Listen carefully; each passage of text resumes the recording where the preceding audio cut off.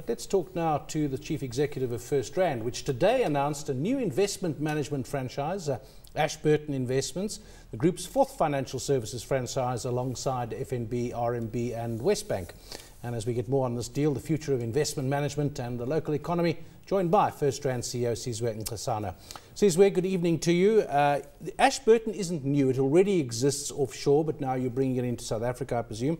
Yep. You say that uh, it's an opportunity because momentum uh, was unbundled from the group in 2009, and since then, asset management has been a, a, gap in the portfolio. So let's start by reminding us why you unbundled momentum to create this gap. Well, we unbundled Momentum because it was a good thing to do for Momentum because they wanted, they were looking at growth opportunities. Uh, they identified especially the middle to lower end of the market as a gap which existed in the market. And what was then RMB Asset Management, which is today uh, Momentum Investments, uh, was naturally part and parcel of that business. Yeah. So it made a lot of sense for it to, to go. And obviously for FirstRand, it left a gap in the market, yeah. and which is why we today launched Ashburton Investments. Well, tell us a bit about what Ashburton is at the moment and what you're going to do now with it in South Africa. Well, what it is today is we have assets under management or under administration to the total amount of about 110 billion rand. And this includes uh, some of the assets that came from BJM or Nuacard B BJM or some of the assets that are under uh, management from our wealth business. So we simply taking those assets and, and really creating a platform through Ashburton Investments, which will provide investors, uh, both institutional as well as retail investors, with a platform to invest in traditional assets as well as in what we call alternative assets. In other words, we want to give investors an opportunity to invest in some of the capabilities and skills that sit within the bank today to originate assets, mm. that some of which may not even be um, available to investors. And we want to create this platform, uh, you know, as a new age investment management platform. Well, I'm going to ask uh, our mini panel here. Of course, Wayne is with Momentum no, Asset Managers. You were unbundled. yeah, now you're now you're competitive. Now, this is an overtraded market. Margins are thin. What's the competitive edge? Well, the competitive edge is one, we have the skill that sits in our uh, banking platform today, you know, especially through RMB as well as uh, FNB, uh, to originate assets that we believe investors will be interested in. For instance, I mean, obviously you have the traditional assets that all the asset manage man managers would have, uh, but, you know, we have assets, uh, for instance, our private equity portfolio, uh, you know, all the investments that we're making in the continent as an example which may not necessarily be available to investors today. So we hope to be able to make those available. So, and you know, we've proven, uh, you know, to be quite successful in starting new businesses. So we're using the platform that already existed uh, to offer opportunities with a skill that sits within the bank today, obviously with a, with a fiduciary mindset to offer those investments to, to the market. Gerard, you'd obviously like, have liked them to come to you with uh, the, the, portfolio, but... Well, as a matter of fact, uh, you know, history has showed that um, bank-owned or insurance-owned asset managers don't perform as well as independent firms in South Africa, but also globally. Um, so I'm sure you've thought about that. Uh, what are you doing differently to avoid that, or is Ashburton a part shareholder in this instance? Well, I guess, you know, one of the key reasons why uh, some of the asset managers that sit within large institutions, especially insurance companies and so on, don't do that well is because a number of reasons. You know, the size is a factor and, and so on. Uh, but, you know, in our case, we have to fight for these investments. In other words, performance mm. uh, is going to be very key which is why we are probably going to be playing a lot more skill game as opposed to a scale game. Presumably, Sizwe you're going to, you can't just put up a name yeah. and say this is a new investment.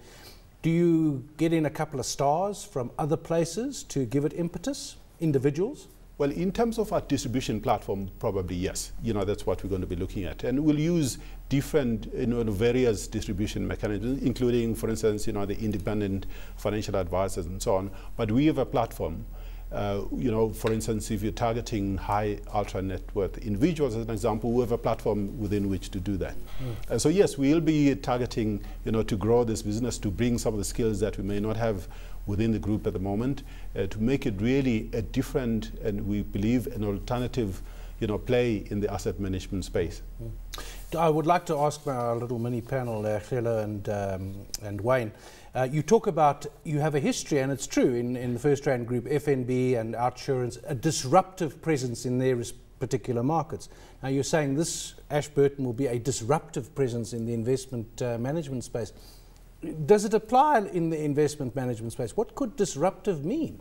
Mm. Well, it must just be a new product offering because I mean, Sizwe is obviously right. Most of the most of the traditional asset management houses or platforms essentially offer the same type or, or, very similar product ranges. So if you can source new products, it can be a little bit different. But distribution is a difficult game. I mean, mm. um, a lot of banks have tried the so-called bancassurance distribution for many, many years and haven't been able to move that much volume through the system. Mm. And you know, as I mentioned earlier on, it's a highly competitive market. This.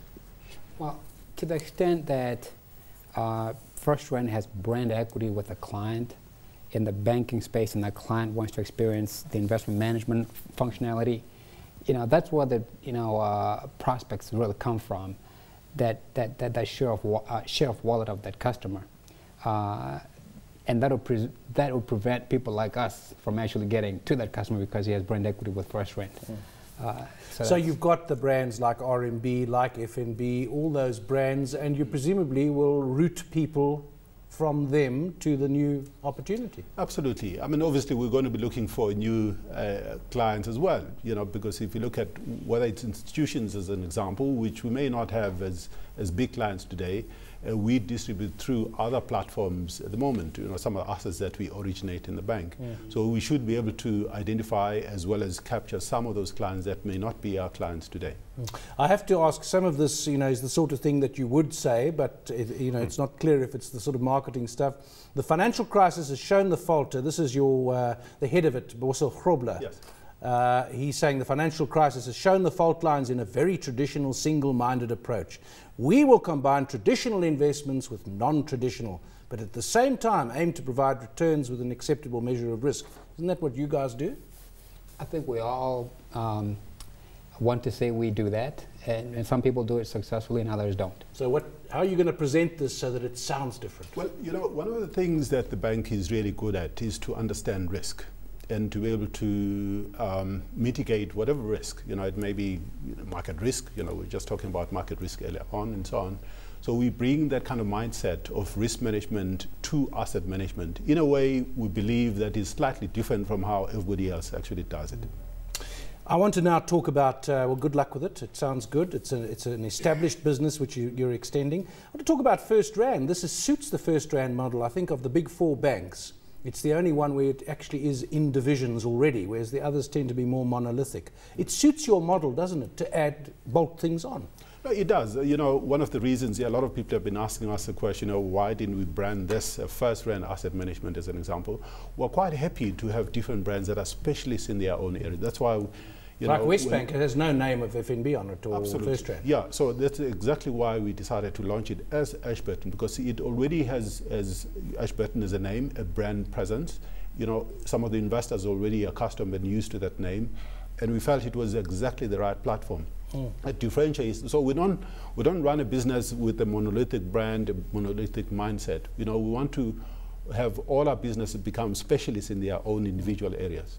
What about your call on where we are at the moment? We've had low growth, people are gloomy, we've had uh, mining numbers out, they are not too good, and uh, the Rand has been moving around. So now your job, in a sense, is no one else in the bank has to do what you've got to do, which is make a big picture call every day when you get to the office and just keep an eye on things. What are you thinking at the moment for the banking sector, for the country? Well, I mean, clearly, as far as a country, the macroeconomic environment is concerned, you know, it, it is tough, uh, you know, no doubt about that. Uh, yes, there are, you know, positive signs. For instance, you know, the National Development Plan, to the extent that, you know, government is now starting to implement some of the projects that are identified in the NDP is a positive, positive sign. There are issues clearly in terms of just the global environment, and, you know, when Makari talked about that earlier on. But in our own space, as a bank. You know, we always try and outperform the macros. And, you know, we believe we, you know, doing exactly the right things. Uh, so we're positive in as far as our story is concerned.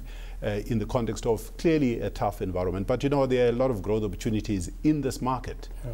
And there are growth opportunities that present themselves in the continent, a lot of the countries that we've identified, including India.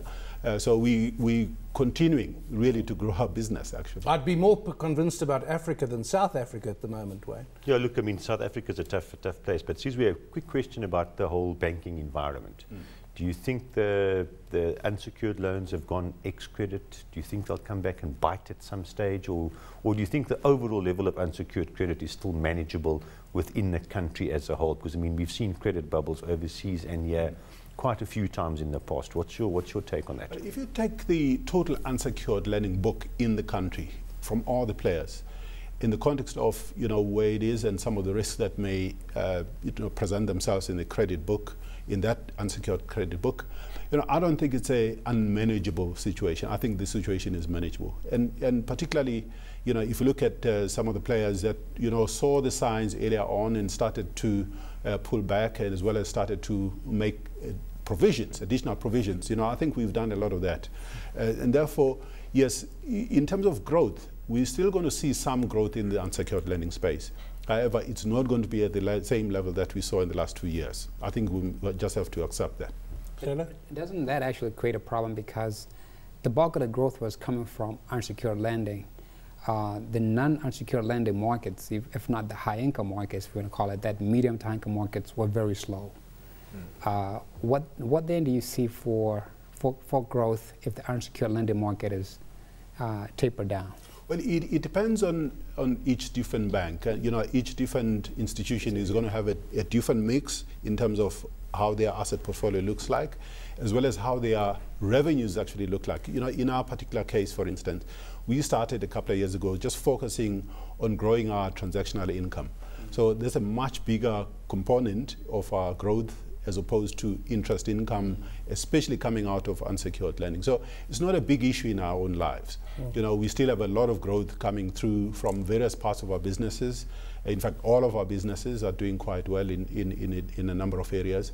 Um, of, of course, you know, those players who may have generated a larger portion of their growth in revenue or profit, you know, coming out of the unsecured lending stage are going to feel the heat as the slowdown happens. Mm. Sizwe, I'm going to turn your famous FNB line on you, and uh, if uh, the government said to you, how can we help you, Sizwe Nxasana, head of FirstRand, what would you say? Well, I would say, I mean, clearly as a country, we need to stay the course in terms of the macroeconomic policies that we have, uh, in terms of, you know, trying to make sure that we can manage our deficits. I think it's important to manage that as a country.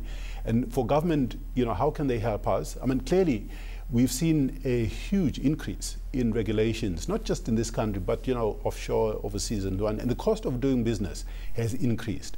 So I think what we need is not more regulations. We need more effective regulations because you know, at the end of the day, if we're finding it more difficult to do business, uh, it invariably affects how how much contribution we make as financial institutions to, to our own economies. Mm. So I would, I would ask for more consistency in regulations because you know, and again we see signs, for instance, of regulations that are coming from other departments, other government departments, but that affect you know, banking or financial institutions or the financial service sector broadly, mm. you know, in a very adverse way. And I don't think that's, that's necessarily the right way to go, especially in a market which is tough as we are facing now.